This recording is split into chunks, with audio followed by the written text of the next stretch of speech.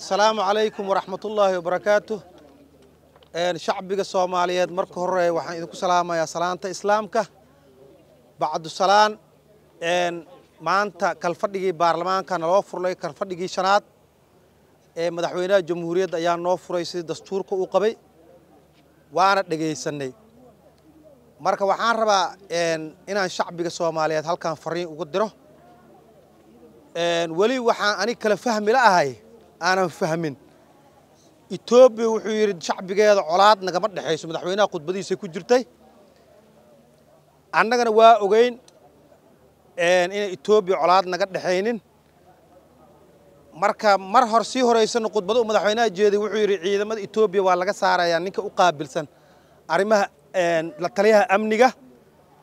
Etoobiyaanka istaadow dowladdaadayba ku jiraan madax saray ka yihiin marka inaad noo kala bixisaan jeclaan lahen shacbiga soomaaliyeed say u ogaadaan etoobiyaanka la saarayo kan askarta miyaa mise midda xukuumaddaada ku jiro waaye mudan madaxweyne waxaan kaloo kaa rabaa sida aa maanta sheegtay in dastuurka la derdeligelin doono. Arrintaas mudan madaxweyne halkaa u socoto waddo kaama jirto way soo oodmaysaa anaa og. Marka yaan la farfaraynin dastuurka farfarayska laga daayo iyadoon waxba lagu heshiinin oo maamul goboleedyada isku afgaranin. Shacbiga soomaaliyeed culumaa lala hadlay maalin nala leeyahay. Zuumkaa lagala hadlay shacbigaa lala tashtay annagana ma aragno.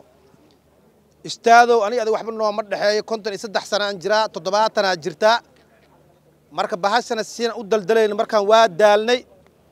Xildhibaanada gadaashayda taagan. Aniga ugu horreeya mucaarad caddaystaan nahay. Marka shacbiga soomaaliyeed maanta laga bilaabo mucaaradaa idin curtay inoo soo duceeya. Waxaan kaloo rabaa inaan guddoomiyaha baarlamaanka halkaan fariin uga faro. Guddoomiyow shaki badanaa nahaayo. Baarlamaankan waa ka shikasannahay xildhibaanada xildhibaanadana waa ka shakisannahay maxaa yeelay waxyaabaha halkaan la mariyey wax macquul maskaxdeyda qaarkood waa diidan yihiin. Waxaan rabnaa marka baarlamaanka la imaanayo inaan sheekh rusheeye aan keenno baarlamaankan la rusheeyo xildhibaanana la rusheeyo say iyaga u noqdaan marka waa maqan yihiin? Adigna fariintaas waxaan kaa codsanayaa guddoomiya inaad soo ogolaatid ina soo sheegtid idaacaddan kuu soo marinaya warkan shaki ma leh.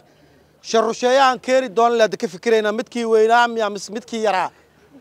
Aan ka fikiraynaa insha allahu tacaala shacbiga soomaaliyeed kheyr iyo barwaaqaa idin rajaynaya noo soo duceeya.